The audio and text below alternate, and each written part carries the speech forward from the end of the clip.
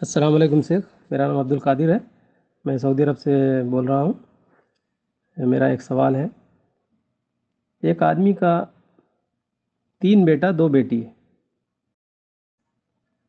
और सारे लोग मिल के रहते हैं घर में। और बड़े बेटे का इंतकाल हो गया। और विरासत में क्या ये जो इंतकाल हुए हैं, इनके बच्चों को हक है या नहीं है? है तो बता दीजिए। नहीं है तो बता दीजिए। और अगर हक है उनके चाचा लोग अगर नहीं दे रहे हैं, क्या हम इसी सूरत में मुकदमा करके अपनी ज़मीन को ले सकते हैं? भाई साहब का सवाल यह है कि एक आदमी के तीन बेटे हैं और दो बेटियाँ हैं, यानी पाँच लोगों की औलाद है। तो इसमें से एक बेटे का इंतकाल हो चुका है तो उसको विरासत में, यानी अपने अब्बा, यानी इन बच्चों के जो अब्बा हैं, उनके माल में हिस्सा मिलेगा कि नहीं मिलेगा? भाई साहब ने सवाल तो किया है, लेकिन एक बहुत ही अहम बात छोड़ दी है वो ये कि ये जो बड़े लड़के का इंतकाल हुआ है, इसके अब्बा के इंतकाल से पहले हुआ है या बाद में हुआ है? ये एक अहम चीज़ इन्होंने छोड़ दी है।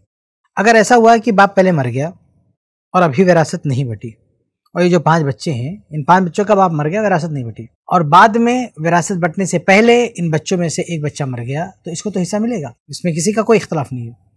क्योंकि बाप जब मरा था तो ये ज़िंदा था, ये बाद में मर रहा है। तो ये आपने क्लियर नहीं किया है अगर आपके सवाल में ये सूरत है कि जो पाँचों बच्चे हैं, ये पाँचों बच्चे ज़िंदा थे अपने बाप की वफात के वक्त तो इन पाँचों को हिस्सा मिलेगा। अगरचे बाद में कोई मर गया। लेकिन अगर ऐसा मसला ना हो, मसला ऐसा हो कि ये जो पाँच बच्चे हैं, उनमें से एक बच्चा अपने बाप की ज़िंदगी में मर गया। अपने बाप की ज़िंदगी ही में मर गया। तो अगर बाप की ज़िंदगी ही मर गया तो उसको हिस्सा मिलेगा कि नहीं मिलेगा? आपने ये भी कहा कि सब मिलकर रहते हैं। तो देखिए, अगर ये मुश्तरका खानदान में मुश्तरका जो है माल रखने का मसला था तो इसकी, यानी जो बांटने वाला माल होगा, उसकी दो किस्में बनेंगी। एक तो वो माल है जो बच्चों ने कमाया है, यानी मुश्तर मिल के कमाया है। यानी सारे जो बच्चे थे, मान लो ये कितना, तीन बेटे थे, तीनों बेटों ने अपनी कमाई से, अपनी मेहनत से कुछ बनाया है। यानी उसमें बाप का कोई रोल नहीं है, खुद अपनी मेहनत से बनाया है। तो अपनी जो मेहनत से बनाया है, उसमें तो उसको मिलेगा। यानी मर गया तो उसका जो भी हिस्सा मिलेगा, सब मिलकर कारोबार कर रहे थे तो उसका जो शेयर है, वो उसको मिलेगा। तो बाप पहले मरा बाद में मरा उससे कोई लेने देने नहीं क्योंकि वो विरासत नहीं है। मिल के जो लोग आ, काम करते हैं वो समझिए कि एक मुश्तरका कारोबार है। एक एग्रीमेंट है कि हम सब कमाएँगे और सब इकट्ठा करेंगे सब बांट के लेंगे तो वो उसका विरासत से कोई ताल्लुक नहीं है। तो उसमें जो उसकी कमाई जो उसका शेयर है उसको मिलेगा।